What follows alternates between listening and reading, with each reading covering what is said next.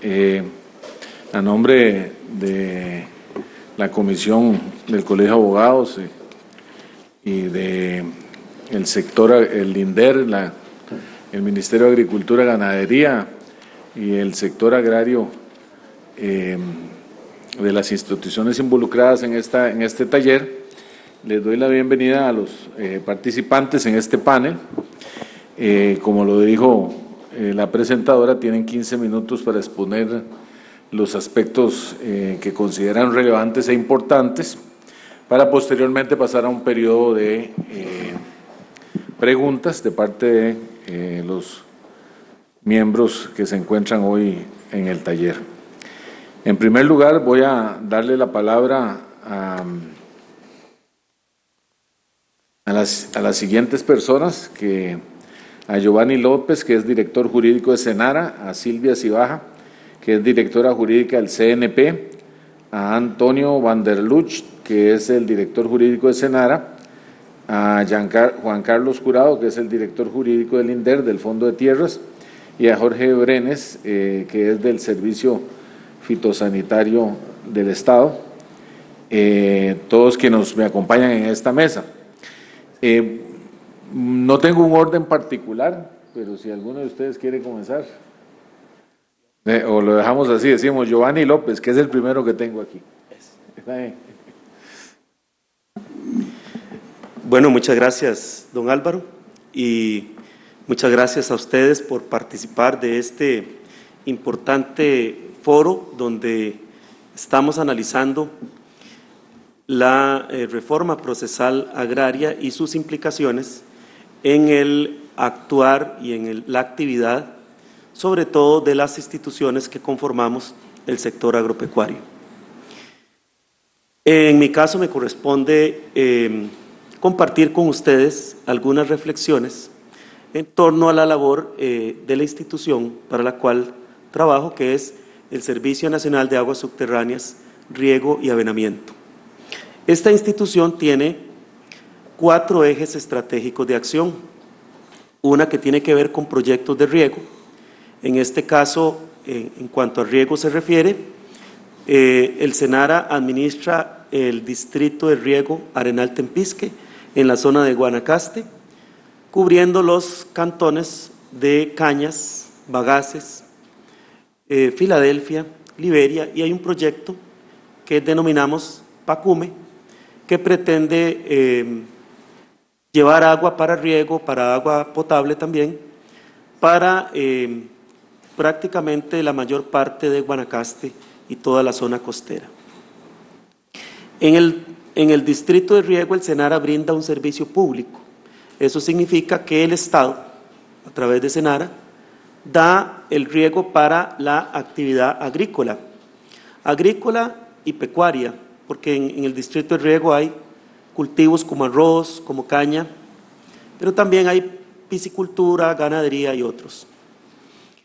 Eh, también en el resto del país, eh, la institución ha desarrollado más de 130 proyectos de riego y drenaje en pequeñas áreas que en estos casos, esos proyectos son administrados por eh, sociedades de usuarios de agua, que son organizaciones privadas que se organizan para, eh, con la participación del SENARA, eh, construir la infraestructura y administrar eh, el sistema. En lo que corresponde a drenaje, el SENARA también hace proyectos para drenaje agrícola. de este tipo de proyectos hay muchos en todo el país, en la zona sur, en la zona atlántica sobre todo. También hay, eh, tiene otro eje estratégico de acción que es el programa de prevención de inundaciones, que es una actividad que realiza muy de la mano con la Comisión Nacional de Emergencias para realizar obras como rectificación de cauces de ríos, eh, encauzamientos, obras de protección para prevenir las inundaciones, tanto para el sector agrícola como para la población civil. Tenemos como último eje estratégico de acción lo que es la investigación, em, protección y vigilancia de los recursos hídricos, tanto superficiales como subterráneos. de manera que la institución es una institución de consulta para todo proyecto que en su ejecución vaya a impactar el recurso hídrico. Como ustedes pueden ver, la cantidad de actividades y la diversidad de actividades en que participa el SENARA como institución del sector agropecuario nos, eh, nos requiere de una serie de procesos judiciales, por ejemplo, expropiaciones, por ejemplo, cobros judiciales asociados a la construcción de infraestructura eh, hidroagrícola, por ejemplo, temas relacionados con eh, daños ambientales generados, por ejemplo, por eh, cultivos agrícolas. Tenemos temas de interdictos relacionados con conflictos entre privados. tenemos temas propios del servicio que damos nosotros como institución. Tenemos también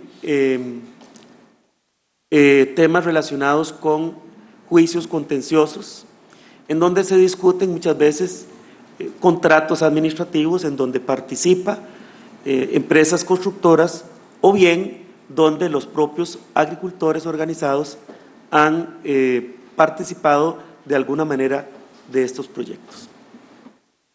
Hasta el día de hoy, la mayor cantidad de procesos judiciales que nosotros atendemos se han atendido ante la jurisdicción contencioso administrativo, bajo el criterio, sobre todo, de que este, los, em, el control sobre la legalidad de los actos administrativos en que participan las instituciones públicas ha sido, digamos, absorbida por la jurisdicción contencioso administrativo. Eh, jurisdicción que tiene además la característica, como hemos visto a lo largo de las exposiciones que hemos eh, tenido esta mañana y parte de la tarde, tiene la característica de que está definida, hay una definición constitucional en el artículo 49 de la Constitución que de alguna manera ha permeado, digamos, la jurisprudencia emitida al respecto y prácticamente ha venido absorbiendo la jurisdicción contencioso administrativa, todos aquellos procesos en que es parte la institución. Sin embargo, también hemos tenido algunas situaciones donde se ha discutido el tema de la competencia. Tenemos, por ejemplo, hemos tenido casos, por ejemplo, de cobros judiciales, en donde em, si el origen de la deuda es el financiamiento de una eh, red de tubería para riego, entonces ya el proceso no lo conoce el juzgado especializado de cobro, sino que a solicitud del deudor, o más bien por interponer la excepción de incompetencia en razón de la materia, eh, han sido remitidos a la, a la jurisdicción agraria actualmente. Bueno, ya en el Código Procesal Agrario hay norma expresa al respecto que ese tipo de casos debe conocerlos entonces los eh, juzgados agrarios. Hemos tenido casos también de eh, eh, procesos en donde son tal vez un poco limítrofes entre ambiente y agricultura, porque como ustedes les he comentado, el SENARA, a pesar de ser una institución del sector agropecuario, también tiene una vertiente de acción en el campo ambiental en lo que se refiere a la investigación y protección hídrica. De tal manera que hemos tenido procesos en donde es difícil establecer el límite hasta dónde llega lo ambiental y hasta dónde inicia lo agrario. Con esta reforma procesal, eh, pues nos queda claro que ese tipo de procesos los absorbería la jurisdicción agraria, esto si no resuelven diferente los tribunales, considerando ya no la naturaleza de las pretensiones, sino los aspectos subjetivos de las personas que intervienen eh, como parte en el proceso. Hemos tenido también conflictos eh, a nivel de distrito de riego, donde se han remitido, de hecho en este momento hay toda una discusión de un caso en donde dos particulares discuten la constitución de una servidumbre, pero esa servidumbre es para el paso de una tubería que conduce agua para actividad agrícola. Entonces, eh, como una de las partes pretende que se constituya una servidumbre, la otra contrademanda y, y solicita tener como demandado al Senara, porque el Senara es el que suple el agua. Entonces eso eh, colocó a ese proceso, que originalmente estaba en la jurisdicción agraria, ante un conflicto de competencia, conflicto de competencia que el Tribunal Agrario actualmente, al estar eh, una institución pública brindando un servicio, considera el Tribunal Agrario que ahí lo que se está discutiendo es un tema que tiene que ver con la legalidad de un acto administrativo y por lo tanto eh, el juzgado declinó la, mm, se inhibió de conocer el asunto, lo remitió al Tribunal Agrario, en principio el Tribunal Agrario acogió la excepción y lo remitió al contencioso, sin embargo luego por otro motivo de que se había presentado una excepción de demanda improponible, se devolvió el asunto, pero por lo menos sí eh, eh, nos eh, quedó esa inquietud de que el Tribunal Agrario favoreció más bien la naturaleza jurídica de las personas intervinientes sobre la naturaleza de las pretensiones que se estaban discutiendo en ese proceso. Eh, a grandes rasgos, esto, esto es el tipo de procesos que consideramos que ahora con el Código Procesal Agrario, pues eh, en materia de competencia da una mayor claridad al respecto.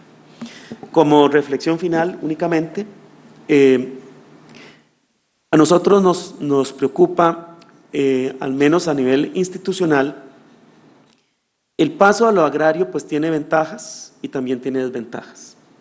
Ventajas porque si somos instituciones que em, trabajamos para la producción agrícola, eh, pues los procesos judiciales deben favorecer la defensa de ese sector, del sector agrícola, la defensa del agricultor. Sin embargo, las instituciones públicas, al igual que tal vez el Poder Judicial, no estamos preparados para tener una atención de procesos a nivel regional. No todas las instituciones tienen asesorías legales regionalizadas. Tal vez el INDER sí por la, eh, por la amplitud de, y cobertura de sus servicios, pero la gran mayoría de instituciones públicas tenemos una capacidad instalada muy, eh, digamos, en, el centro del país, en San José. Nosotros hemos optado, por ejemplo, los cobros judiciales, los tramitamos ante el juzgado especializado de cobro y solo muy excepcionalmente se ha, se ha puesto la excepción de, de falta de competencia en razón de la materia y entonces nos han remitido a otros juzgados en, eh, fuera de, digamos, de, en la zona rural, que dicho sea de paso también eh, no son tan, tan rápidos para resolver y en muchos casos pues se nos ha dificultado el seguimiento de los procesos porque tampoco tienen, digamos, la tecnología que tienen los juzgados aquí en San José. Eh, entonces eso es una, una preocupación que, que nos queda, bueno, y que tenemos que adaptarnos a a las nuevas reglas que establece eh, el Código Procesal Agrario. Muchas gracias. Muchas gracias. Eh, para ir, eh, no sé si usted lo tiene a mano o no, pero para ir dimensionando la, la, la situación que se va a presentar cuando se implemente el Código Procesal Agrario, no sé si usted tiene algún dato de la cantidad de procesos agrarios que Senara tramita, de procesos contenciosos administrativos que tramita eh, anualmente en los tribunales. O sea, ¿qué procesos, cuántos procesos nuevos entran? Yo diría que, bueno, en lo que se refiere a procesos en general, obviamente una parte importante a la que no me referí, que, que es parte, digamos, del giro normal de nuestra dirección jurídica son los recursos de amparo, que esos siguen siendo en la jurisdicción constitucional. Pero fuera de esos, yo diría que por lo menos un 50% de los procesos que llevamos actualmente en la sede contenciosa pasarían a, sede agraria, dependiendo de la amplitud con que interpretemos eh, esa competencia que define el Código Procesal Agrario. ¿Y, cuántos procesos más o menos se llevan en el contencioso? Eh, no muchos en realidad.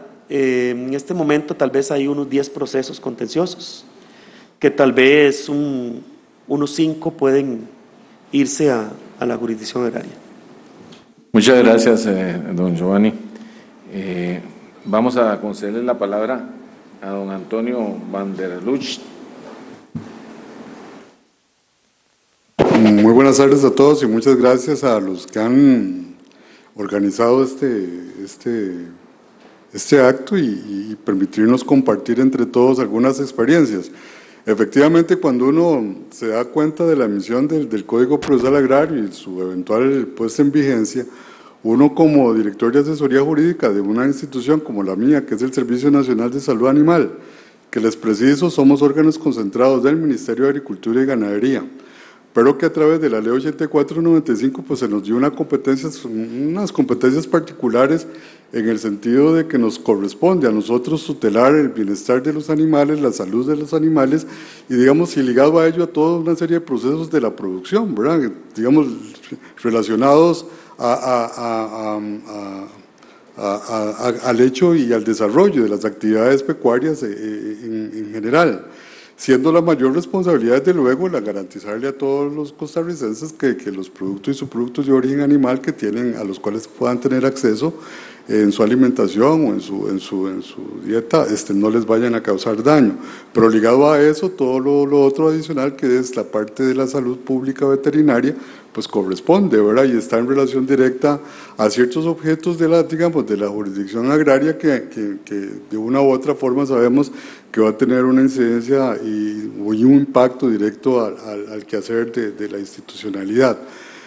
Eh, fíjense que, por ejemplo, este, la, ley SENASA, la conocida ley SENASA, nos da uno de los mayores instrumentos para que nosotros podamos modificar esa realidad sanitaria en general en el país, es el certificado veterinario de operación, que al final no es más que un certificado, es un permiso o una autorización de funcionamiento para unos determinados establecimientos que están señalados en el artículo 56 de la ley SENASA y que van desde una finca hasta un pet shop, de que van desde un matadero hasta una hasta un, un, zoológico o que van desde una fábrica de embutidos, ¿verdad? hasta una fábrica o que, que, que produce medicamentos veterinarios. O sea, esa gama de establecimientos es muy amplia. De hecho, nosotros hemos señalado en algunas oportunidades que el SENASA cuando irrumpe en el 2006, ¿verdad? que lo hace como muy, muy, muy sin, que sea publicitado, este, pasaron a la órbita del SENASA más o menos unos, pues, calculamos nosotros así, a, grosso modo, unos 100 mil establecimientos que de una u otra forma estaban ligados a permisos sanitarios de funcionamiento del Ministerio de Salud en aquellos, especialmente aquellos establecimientos de comercialización y transformación. Y por vez primera, y eso es interesantísimo, con la ley SENASA, por vez primera se establece una autorización de funcionamiento para la producción primaria. O sea, antes de la ley SENASA no existía en el sistema jurídico, en la realidad jurídica costarricense, una autorización para que un establecimiento de producción primaria pudiera operar. Entonces, a partir de ese momento, todas las, granjas ganaderas, todas las, toda la ganadería en general, de tanto de avícola, porcina, vacuna, caballar, etcétera, pasa a la órbita, digamos, del SENASA y a ser regulada desde el inicio este, a través de este certificado veterinario de operación. Y a no dudar, a no este, muchos de los problemas o de los eventuales conflictos o de los eventuales eh, intereses que van a estar afectos con, el Código Procesal Agrario van a ser ese tipo de establección necesaria y obligatoriamente, ahora van a ser objeto de, digamos, de la tutela eventual. Y entonces ahí eso, desde luego que va a traer sus, ajustes y sus, y sus, eh, eh, sus desbalances eventualmente. Porque fíjense que también entonces el, certificado veterinario de operación lo que busca es modular realidad sanitaria. Claro, la ley nos dice y nos señala en, en los artículos, digamos, iniciales, en la teleología de la ley, de que nuestra obligación como servicio veterinario es procurar el bienestar de las personas, la salud de los animales y también nos mete la variable ambiente, o sea, no está ajena. Y desde luego, eso es normal en casi en todas las legislaciones que se han dado después de la modificación del artículo 50 de la Constitución, ha sido como una regla donde el ambiente está presente. Y ahora me, me acordaba el colega Johnny que que en alguna oportunidad esa, esa pugna entre lo ambiental y lo agrario o lo, agropecuario, por ponerlo así, darle algún carisma, un cariz, ha sido una pugna que viene presentándose desde hace muchos años a nivel de la institucionalidad del sector agropecuario. Y es un tema que ahí está pendiente, que no lo hemos, no lo hemos, no lo hemos terminado de definir. Y es importante que en algún momento dado eso se haga. Entonces, cuando uno agarra, digamos, el, el, artículo, el artículo 2, inciso séptimo de la ley, del, perdón, del Código eh, Procesal Agrario, que señala que efectivamente todas las actividades, permítame, porque lo tengo aquí, en, este, eh, señala que todas las actividades son sanitarias, fitosanitarias, dice el artículo los asuntos relativos a asuntos fitosanitarios y usosanitarios, así como los reclamos de las personas consumidoras vinculadas con productos o servicios agrarios.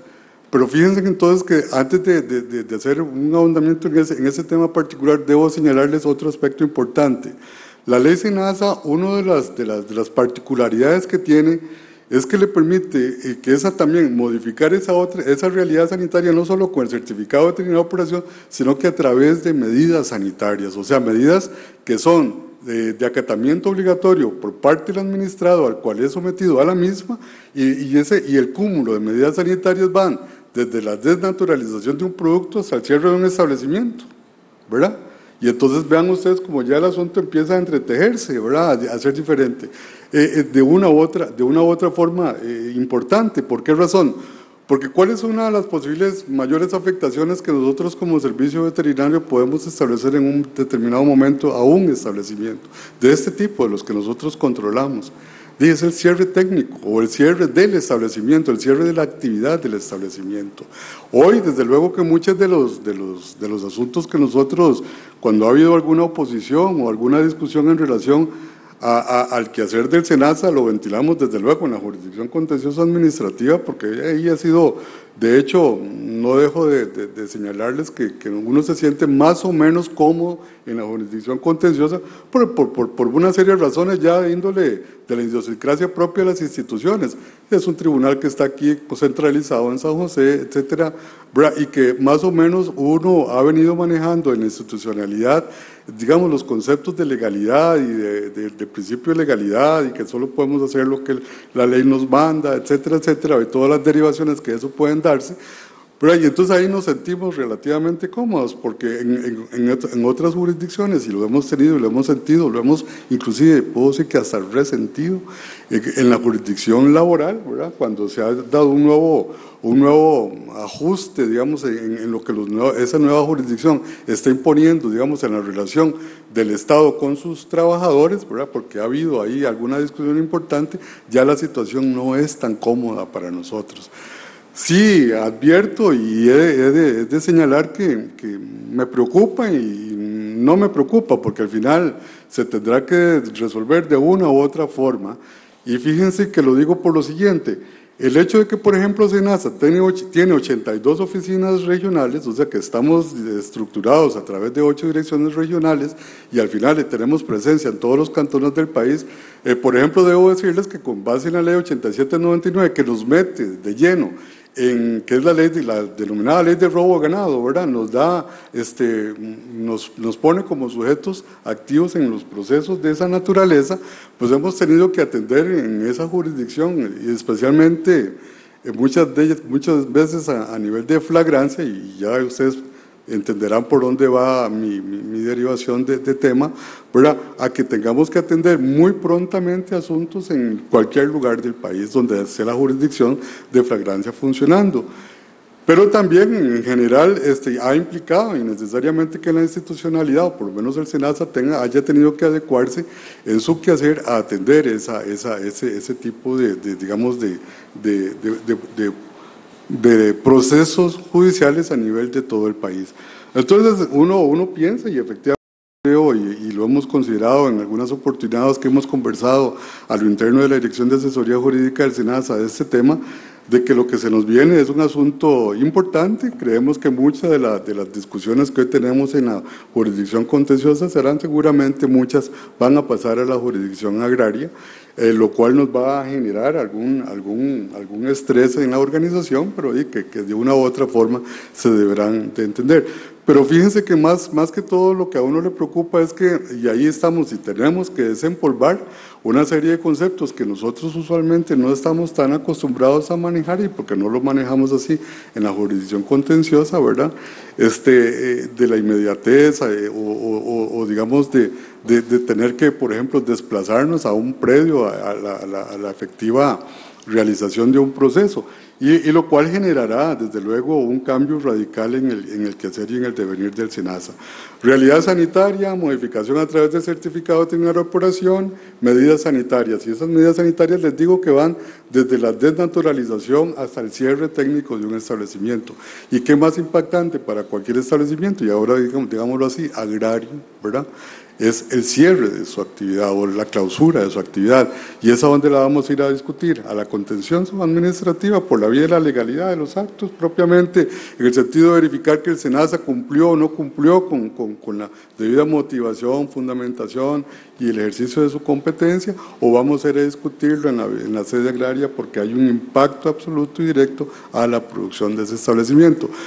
No, no, no, no me considero un experto y en ese sentido yo creo que todos los que estamos aquí de la Dirección de Asesoría Jurídica de SENACE y hemos compartido en algún momento también con Yadira como directora jurídica del MAC ese tipo de preocupaciones y tendremos que atenderlas. E, eso tómenlo como un cúmulo de reflexiones, no soy bajo, bajo tesis de, dogma y, tendremos que, que enfrentarlo. Al igual que como don Enrique señalaba y ahora los compañeros en la, mañana señalaban, sí vamos a tener que hacer un ejercicio muy, muy importante para poder definir esos objetos procesales, para poder definir y establecer en dónde vamos a estar presentes o, esa pretensión, ¿verdad? Que, digamos, eh, uno pensaría que en la jurisdicción agraria eso, eso se va a dar y pienso que, que, va a ser una válvula de escape en la audiencia, en la audiencia eh, correspondiente para, para tratar de, de, hacer ese proceso y tratar de definir. Pero si nos sucede un poco como nos ha sucedido hasta hoy con la jurisdicción laboral, creemos que sí, deseando que no fuera así, va a ser un procesillo medio, medio mm, de parto medio duro, ¿verdad? Medio difícil para nosotros. Este, les agradezco de verdad que, que, me hayan prestado atención y, estamos a la orden para cualquier consulta mayor que ustedes se les tengan a bien. Eh, muchas gracias, don Antonio.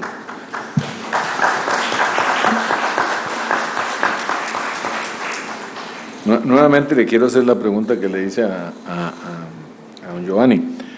¿Aproximadamente cuántos procesos eh, lleva en el contencioso administrativo el, el, el SENASA? Sí, bueno, más o menos nuestro pasivo, vieran que ha sido interesante, este año ha, tendido a declinar, ¿verdad? Íbamos más o menos en un, promedio como de dos por mes, ¿verdad? Digamos hasta el año pasado. Este año ha habido un proceso menor, ¿verdad? No sé si, si, si, será que las estaremos haciendo mejor en el SENASA y que ya no nos demandan tanto, pero eh, eh, lo que pasa es que suena, tal vez uno podría decir, de mantener un pasivo de, digamos, en el tiempo, porque lamentablemente la jurisdicción contenciosa al principio muy, muy, muy pronta en las resoluciones, hoy tenemos audiencias para el 2020, ¿verdad? Entonces, este, esos pasivos se van manteniendo ahí en el tiempo y pues hay que, hay que estarlos atendiendo y hay que estarlos diligenciando, pero más o menos si llevábamos un promedio, unas dos, dos, dos, dos, dos procesos por mes, pero hay que confesarlo, y lo confieso así, ha venido declinando. Muchas gracias, don Antonio. Vamos a concederle la palabra a doña Silvia Cibaja, que es la directora jurídica del Consejo Nacional de Producción. Muchísimas gracias, muy buenas tardes. Eh, yo voy a iniciar eh, contándoles una anécdota. Eh, cuando al Consejo Nacional de Producción lo invitan a ser parte de la Comisión Agraria, tanto don Enrique como don Carlos recuerdan que yo les, les decía, bueno, yo agradezco muchísimo la invitación, muy honrada, Vengo a aprender porque la experiencia del Consejo Nacional de Producción en, en materia agraria, eh, por increíble que, suene, en realidad era, era nula. Eh, ahora me consuelan mis, mis compañeros de mesa porque eh, ellos están indicando que tampoco han tenido experiencia en litigio en sede agraria. Y bueno, nosotros lo que hemos tratado de hacer para compartir con ustedes el día de hoy es una, una pequeña presentación con respecto a las actividades ordinarias que atiende el Consejo Nacional de Producción, de las cuales nosotros suponemos que eventualmente podrían traer eh, em, eh, valoraciones importantes para efecto de considerar que eh, en un eventual conflicto judicial iríamos efectivamente a decantar a la sede, a la sede agraria. Me disculpan mis compañeros porque la lámina está a la espalda, pero voy a tratar de...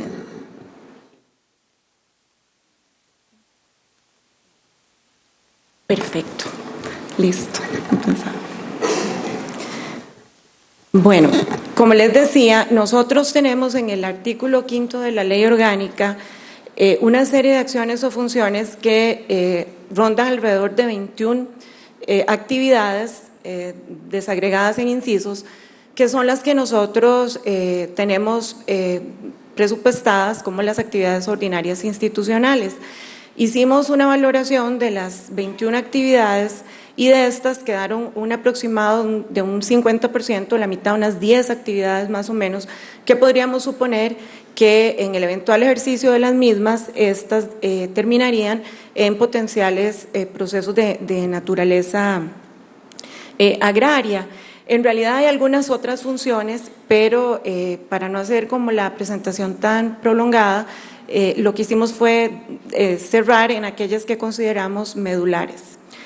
En el artículo quinto, en el inciso B, una de las actividades más importantes que tiene el Consejo Nacional de Producción y por lo que mucha gente lo ha conocido eh, con las plantas de procesamiento de granos es el inciso B, donde tenemos la función de operar silos, secadoras, cámaras de refrigeración y plantas de transformación e industrialización agrícola. Aquí nosotros lo que hacemos es una venta de servicios agropecuarios de secado y almacenamiento de granos y esas plantas pueden ser a su vez dadas en arriendo a título gratuito eh, u oneroso a organizaciones de productores. Entonces, ahí vemos que hay un marco competencial donde eventualmente la institución pueda tener relaciones eh, contractuales donde podríamos tener eventualmente eh, perdón, conflictos de naturaleza agraria. Aquí el fenómeno es interesante porque este, esta figura se puede relacionar con los préstamos a título precario que muchas veces hacemos, entre, inclusive entre instituciones o con particulares, al amparo de otros cuerpos normativos como son la Ley de Contratación Administrativa o em, la Ley General de la Administración Pública, pero aquí el marco de competencia que da la Ley Orgánica del CNP para esta figura es específicamente con organizaciones de pequeños eh, y medianos productores. En el inciso C, la función siguiente es llevar a cabo mediante contratación convenios de trabajo de conservación de suelos.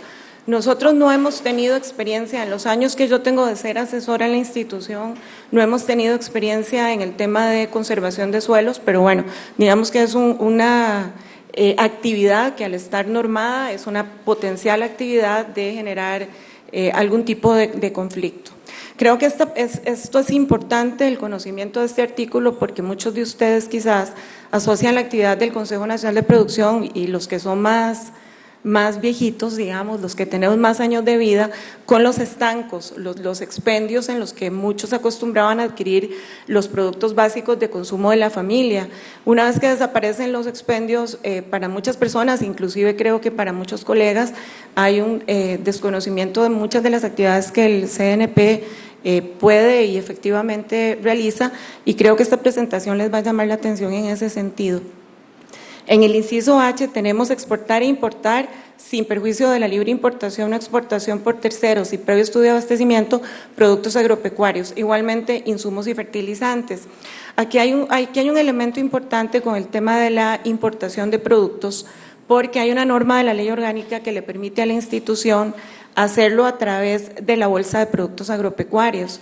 Entonces, tampoco hemos tenido la oportunidad, inclusive ni siquiera en la vía contenciosa, de tener un conflicto de este tipo, porque las transacciones que se hacen en bolsa, las bolsas de productos, o de servicios, lo que hacen es que consignan que cualquier conflicto se resuelve por la vía de la resolución alterna de conflicto.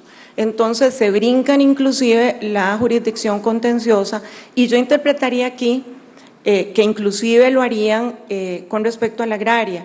Es un, tema a estudiar, me parece que es de los temas que nosotros vamos a tener que analizar a profundidad porque estamos hablando de un tráfico de productos evidentemente eh, agrícolas, ¿verdad? Nosotros hemos comprado para abastecimiento nacional por seguridad alimentaria frijol y hemos comprado arroz por la vía de el pues, puestos de bolsa y de esta manera eh, conflicto tuvimos una vez con frijol y ese conflicto se dirimió por la eh, resolución alterna de conflictos de manera que, de hecho, cuando se analizó en la jurisdicción contenciosa, brincó de inmediato por incompetencia a la resolución alterna de conflicto y supondríamos que habría ahí igual el mismo razonamiento con el tema de la jurisdicción agraria. ¿Prevalecería? No lo sé, son, son situaciones a analizar. Yo creo que vamos a tener nosotros como asesoría legal que, que estudiar muchísimo estos temas porque brincaría a la, a la, resolución alterna de conflictos a pesar de ser eh, eminentemente agraria. Coordinar con otros entes públicos, organizaciones privadas, certificación de calidad. en, el, en, calidad agrícola nosotros en realidad lo que hacemos es vender servicios, los servicios se venden a particulares, pero si nosotros nos enfocamos en el concepto de trazabilidad de que habla el código agrario, podríamos pensar que al tratarse de certificación de productos agropecuarios, eventualmente podrían indicarnos que ahí también hay un marco competencial para la jurisdicción agraria. El inciso J, promover la reglamentación de todo tipo de mercados para vender productos de origen agropecuario. Eh, este es interesante, aunque no, no exactamente estaríamos hablando en esta norma de la jurisdicción agraria, pero en esta norma se acuerpa la creación de las ferias del agricultor y las ferias del agricultor efectivamente son todo un fenómeno eh, con respecto a la comercialización de productos agropecuarios que podría traernos material también que se trasladaría de lo que hoy por hoy nosotros manejamos.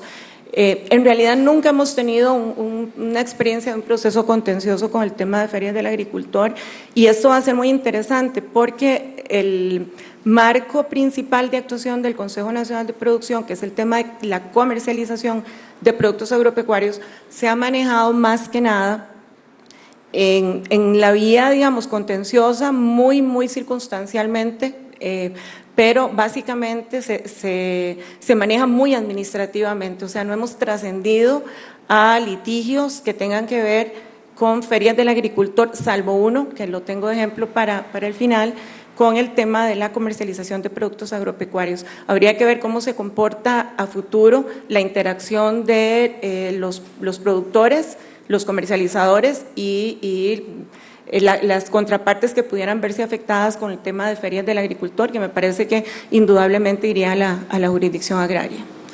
Voy a brincarme el inciso K, que creo que no es tan importante. Y fundamental, ¿verdad, Elene? Intervenir como agente económico en el mercado de semillas y productos agropecuarios. Volvemos al tema de eh, seguridad alimentaria, volvemos al tema de abastecimiento, que también tiene relaciones de eh, comercialización que eventualmente podrían llegar a la jurisdicción agraria. Como les decía, el inciso que sigue vuelve al tema de las bolsas de productos agropecuarios, que son un ámbito de comercialización que, es marco competencial del CNP, pero como les decía, eh, ahí entra en juego la solución alterna de, conflictos.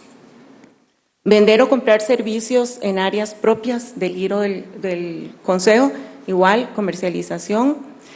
Y un inciso W que en realidad está ya en fase de finalización, que es eh, requisitos de desempeño para la importación de frijol y maíz blanco. Esto tiene que ver con seguridad alimentaria, tiene que ver con el abastecimiento del frijol y el maíz eh, en el país y ahí en realidad la actividad tiene mucho que ver con los industriales del maíz, con los industriales del frijol y con los productores agrícolas, porque lo que se procura con cláusula de desempeño es la colocación de la producción nacional en primer término antes de declarar desabastos que permitan a los industriales ingresar eh, la producción eh, foránea por eh, desabastecimiento.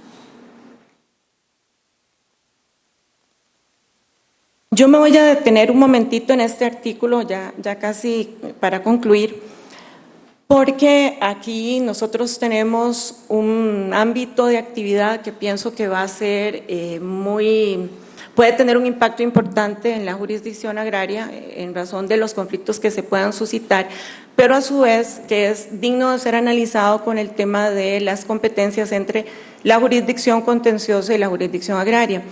Este artículo eh, noveno es el que permite al Consejo Nacional de Producción, no sé si quizás ustedes han escuchado en la prensa, que eh, el abastecimiento para los comedores escolares, para Ministerio de Seguridad Pública, Ministerio de Justicia, cárceles, para hospitales, entre otros, lo genera el Consejo Nacional de Producción como un facilitador. Esto es, el CNP adquiere la, producción de pequeños y medianos productores agropecuarios, consolida oferta y vende a todos los clientes institucionales la producción de estos, de estos productores y esencialmente hoy por hoy hemos crecido muchísimo con el tema de comedores escolares. A pesar de que siempre hay resistencia, eh, pues ah, quizás ellos piensan que es mucho más fácil comprarle al pulpero de la esquina en el pueblo donde está la escuela o al abastecedor de la esquina y no a los pequeños y medianos productores. Entonces el CNP facilita esa interacción entre proveedor y comprador. Al, al año, en este, a este momento, las ventas en este programa eh, rondan por los 62.500 millones de colones. O sea, comprenderán que no es una suma nada despreciable y tenemos una cantidad de 260 proveedores que son organizaciones de pequeños y medianos productores. ¿Dónde está el conflicto en este programa a nivel eh, de definir estas competencias en caso de, litigio? Eh, por un lado, el CNP compra a pequeños y medianos productores, ahí hay una relación de, de mercantil, llamémosla, ¿verdad? Donde el CNP actúa ahí como un sujeto de, de derecho privado más bien. Y por otro lado, hay una relación entre CNP y clientes meta, que son los, las instituciones públicas que adquieren el producto. Entonces, eventualmente, en una misma transacción tendríamos del lado derecho a los eh, productores agropecuarios relacionándose con institución pública, pero con una transacción eminentemente agraria, ¿verdad? productos de origen agropecuario, y de la otra, la, eh, la otra cara de la moneda tendríamos a el CNP vendiéndole ese producto, ese mismo producto, a el cliente meta, que son eh, instituciones públicas. Ahí sería una relación contractual interadministrativa. Entonces, como comprenderán, este va a ser un, un espacio interesante, como les vengo diciendo también, de análisis para definir marcos competenciales en caso de conflictos. Finalmente, en este no me voy a detener mucho, pero, pero sí también es de reflexión, es eh, la Fábrica Nacional de Licores, tiene una actividad eh, que es em, muy relacionada al agro, porque nosotros trabajamos con una materia prima agrícola que es la melaza, producto de la, de la caña de azúcar, y de la melaza se produce el alcohol tipo eh, B, que lo produce Laica. Laica le vende el alcohol tipo B al, a la Fábrica Nacional de Licores, quien rectifica, y en esa rectificación, em, de esa rectificación de ese alcohol se produce el guaro cacique, y los alcoholes y licores que produce la Fábrica Nacional de Licores. Cuando CNP le compra el alcohol a Laica, ya lo compra con un proceso industrial.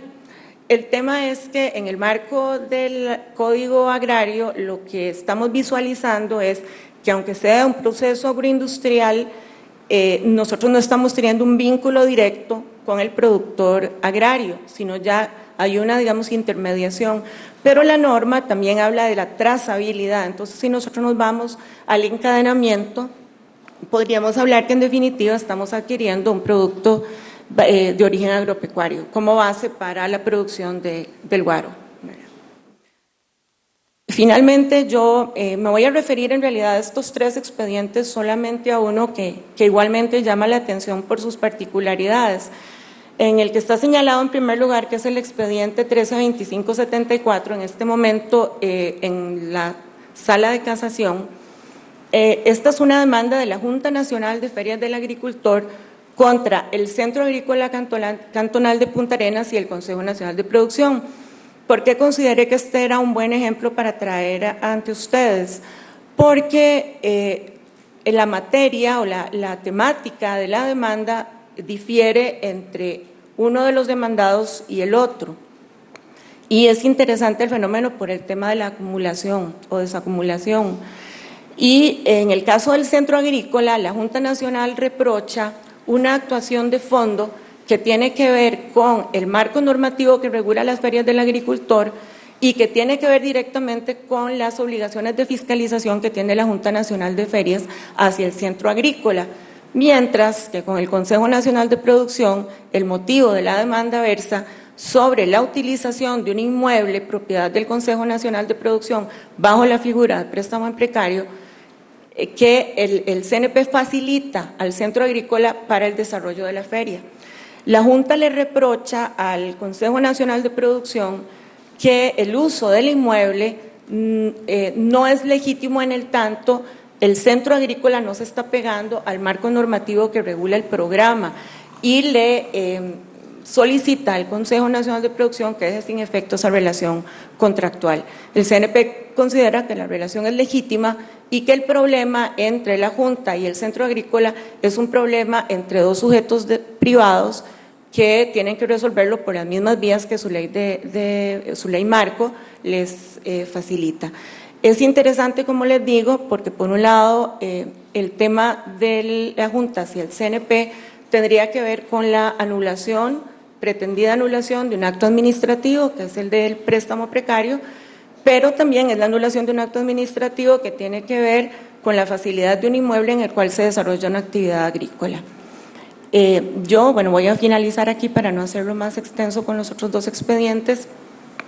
Sí quisiera señalar que para nosotros en realidad eh, hay alguna incertidumbre, vistos estos ejemplos, que ameritarían muchísimo estudio, que ameritarían pues que se fuera desarrollando la jurisprudencia que nos ayudara a delimitar ese marco competencial y obviamente, como lo decía el compañero Antonio, eh, nosotros hemos tenido que venirnos adaptando durante el transcurso del tiempo a diferentes cambios de normativa, sobre todo en materia procesal, y igualmente pues estaríamos prestos a, estudiar y a aprender lo que haya que aprender para litigar en la sede que corresponda, pero sí eh, yo siento una, una gran incertidumbre con respecto a el marco competencial del CNP versus eh, la, forma de identificar los ámbitos competenciales en la vía eh, jurisdiccional. Y bueno, muchísimas gracias por, por la atención.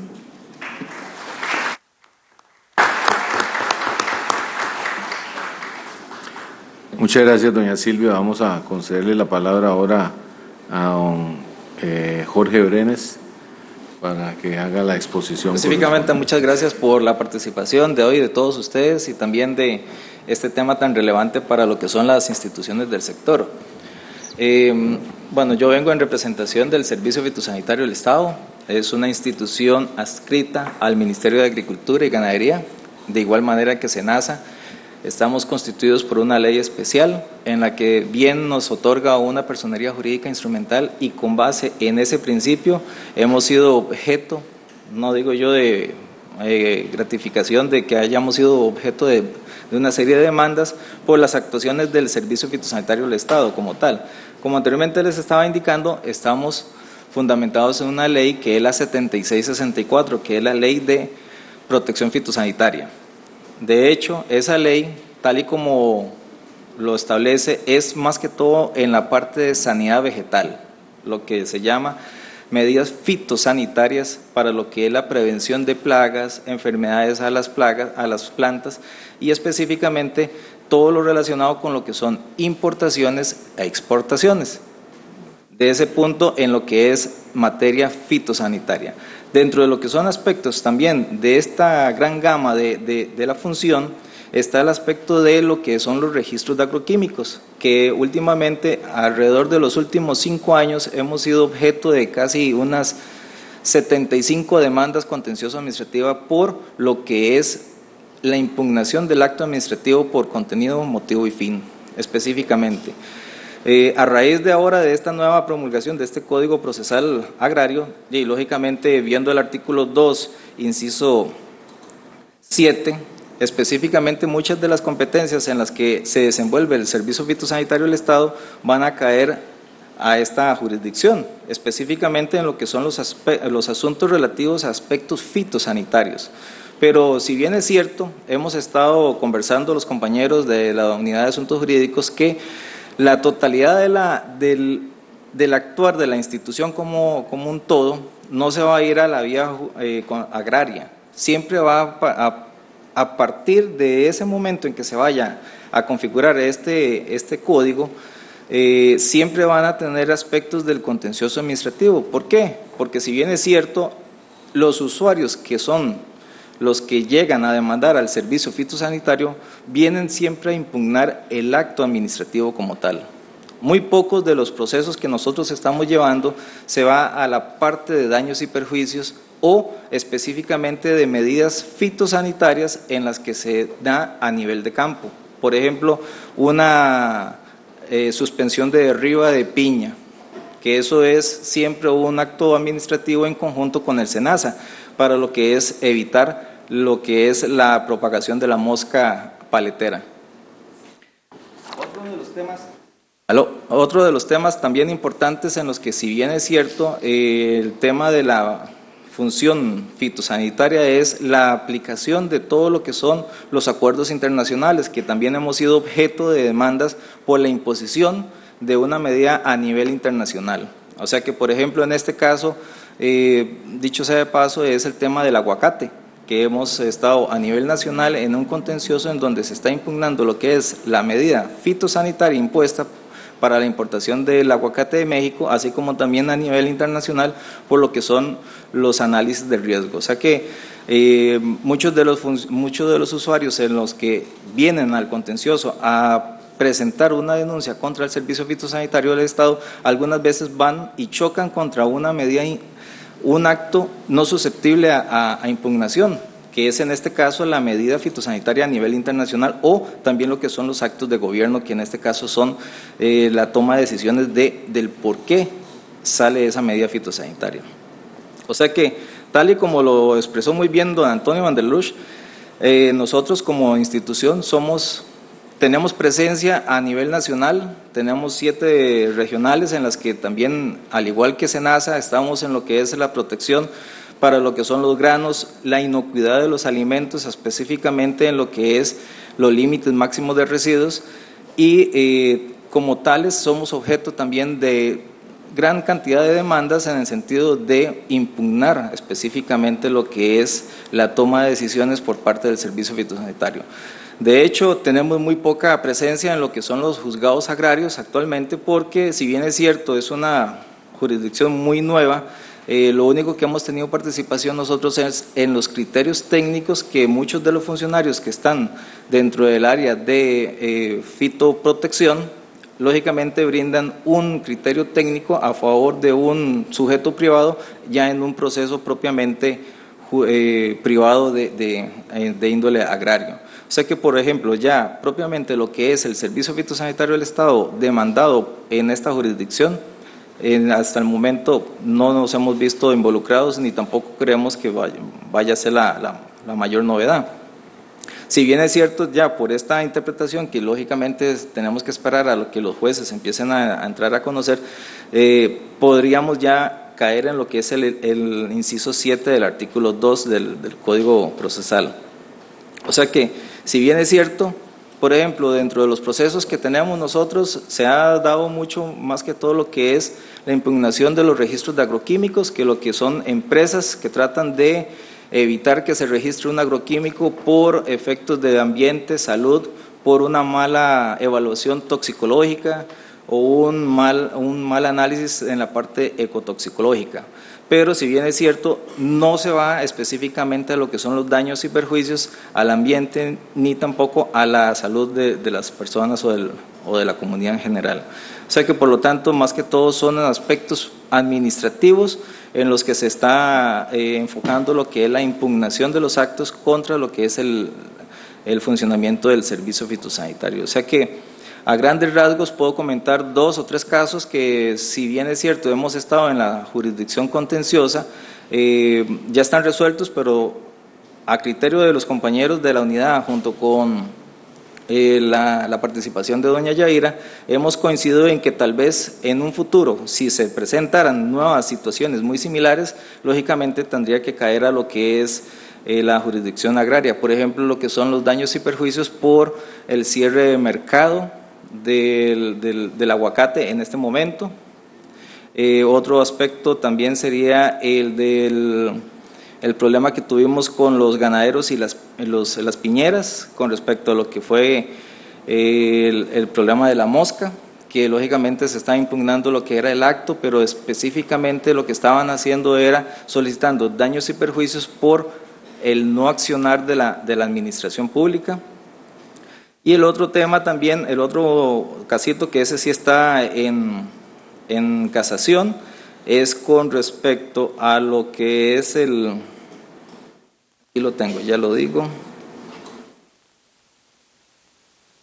Ah, es del Centro Cantonal de Santana, en donde por una, un certificado fitosanitario de importación de cebolla se le provocó daños y perjuicios a los cebolleros de la zona, en donde no pudieron vender su producto, o sea que por lo tanto se les causó un daño y por lo tanto, lógicamente, impugnaron la actuación de otorgar ese, ese certificado a, a, los importadores y eh, lógicamente se les provocó daños en las plantaciones, eh, pérdida de propiedades y lógicamente que dentro del proceso contencioso se hizo lo que es una prueba anticipada en la, en la parte agraria y lógicamente ya por ser un aspecto de de impugnación del acto administrativo, pues no fuimos a la parte contenciosa. Pero lógicamente que ante esta situación y ante la vigencia de este nuevo código, pues lógicamente sí sería de resorte completo eh, la tramitación ante esta instancia jurisdiccional porque se estarían viendo aspectos meramente de la producción agrícola y también los daños provocados en las fincas propiamente en el lugar de, de, del sitio. O sea que más que todo eso sería la, participación del servicio fitosanitario en, en la comunidad y también en lo que es en la emisión de los actos administrativos sujetos de, impugnación.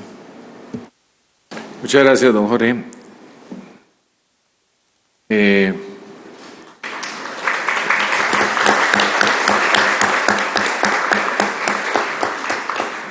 continuación vamos a cederle la palabra a Juan Carlos Jurado, director jurídico del Fondo de Tierras del INDER. Muy buenas tardes, muchas gracias por tenerme aquí, es un honor para mí estar aquí. En realidad el INDER, como vamos a ver ahora, es como la institución más nombrada dentro del Código Procesal Agrario. Hay pocas dudas en realidad en cuanto a la interpretación de si tenemos, nuestros asuntos van a ser de materia agraria o no. El artículo 2 del Código Procesal Agrario en el inciso 11 dice, en grado y de forma definitiva de los recursos que se interpongan contra las resoluciones del Instituto de Desarrollo Rural en procedimientos administrativos de revocatoria de asignación y nulidad de títulos de propiedad, otras modalidades de dotación de tierras, así como de las resoluciones vinculadas al desarrollo rural. Aquí está hablando de que el Tribunal Agrario va a ser el superior jerárquico impropio del INDER en todas aquellas materias que tengan que ver con el desarrollo rural. Lo amplía un poco a como ya estaba anteriormente en la legislación.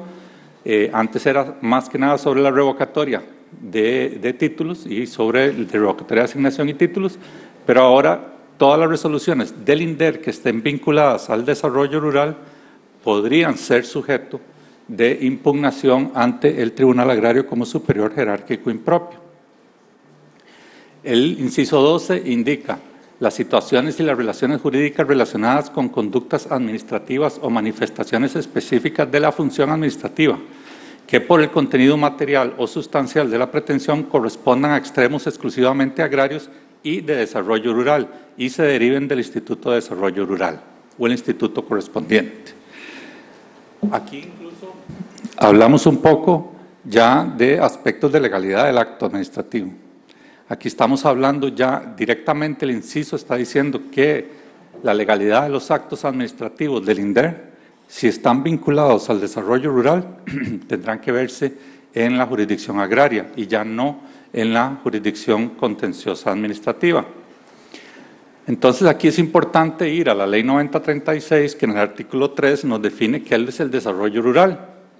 Y nos dice que el desarrollo rural territorial es el proceso de cambio integral en materia económica, social, cultural e institucional, impulsado en un territorio rural con la participación concertada y organizada de todos los actores sociales existentes en dicho territorio, orientado a la búsqueda de la competitividad, la equidad, el bienestar y la cohesión, identidad social de sus pobladores. Posteriormente nos dice que el desarrollo humano es la finalidad del desarrollo territorial rural es contribuir al proceso de generación de las capacidades humanas que permiten el ejercicio de la libertad y el crecimiento personal de los habitantes.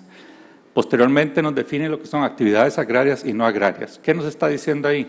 Prácticamente casi todo es desarrollo humano, casi todo lo que haga que la persona sufra un cambio en su forma de vida o que tenga como propósito un cambio en su forma de vida en cualquiera de los aspectos de su vida, se va a considerar como desarrollo.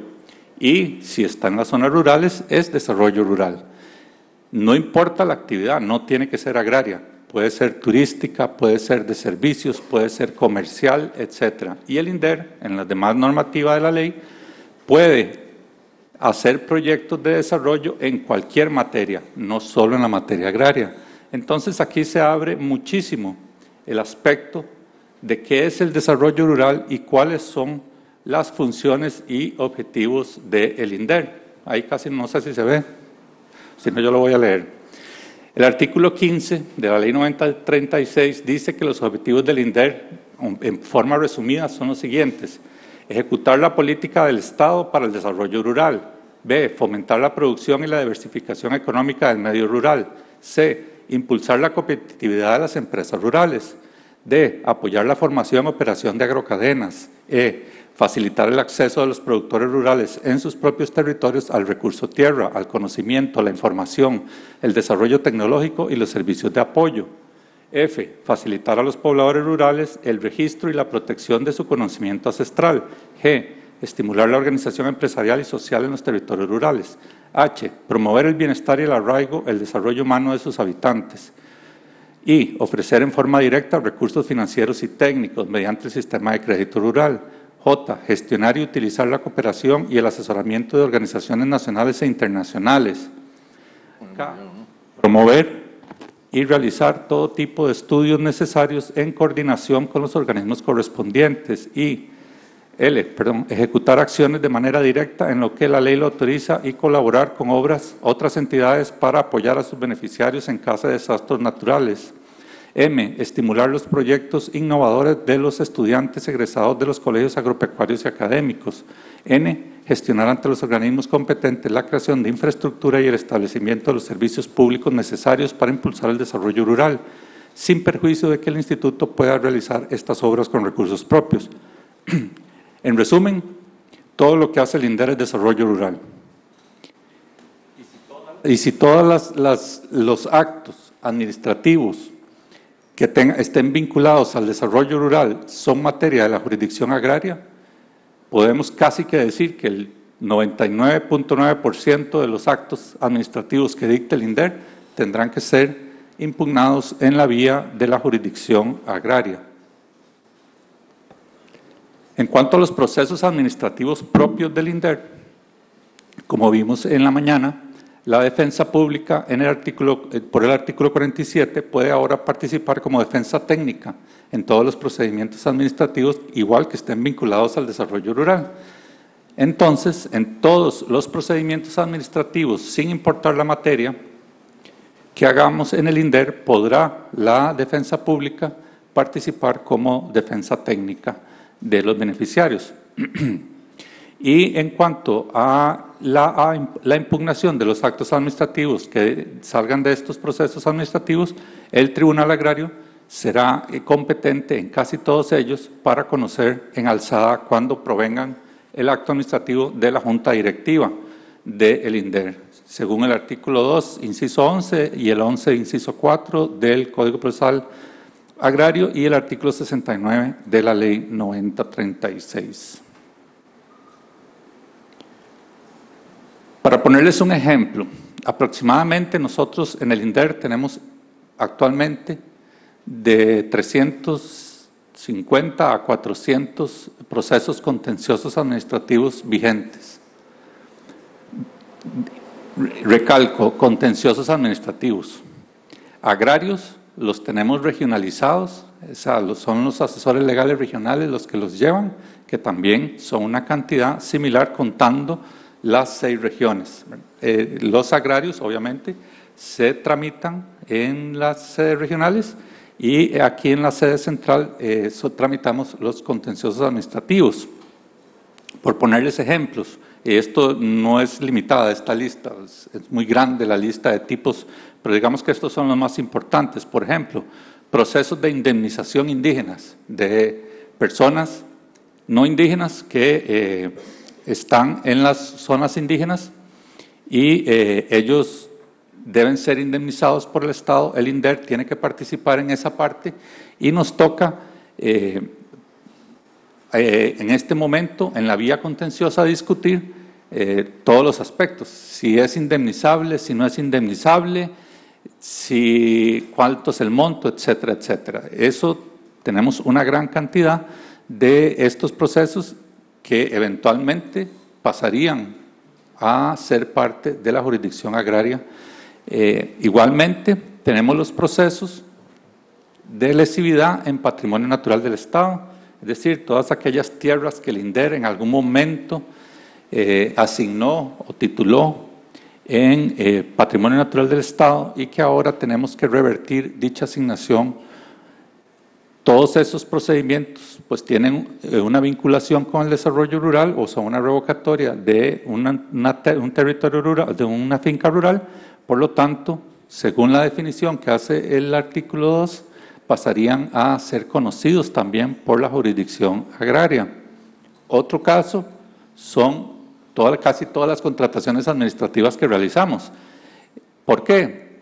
Porque todo lo que hacemos está vinculado al desarrollo rural. Entonces, todas las contrataciones que hace el INDER están vinculadas al desarrollo rural. Por lo tanto, cualquier diferencia que se presente, ya sea, por ejemplo, que, compramos, hicimos una contratación para la compra, no sé, de una maquinaria agrícola y un incumplimiento contractual, pues eso ahora lo tendremos que eh, ir a a, luchar en la jurisdicción agraria y ya no en la de jurisdicción contenciosa administrativa, y así cualquier otra diferencia que se presente en el procedimiento de contratación administrativa.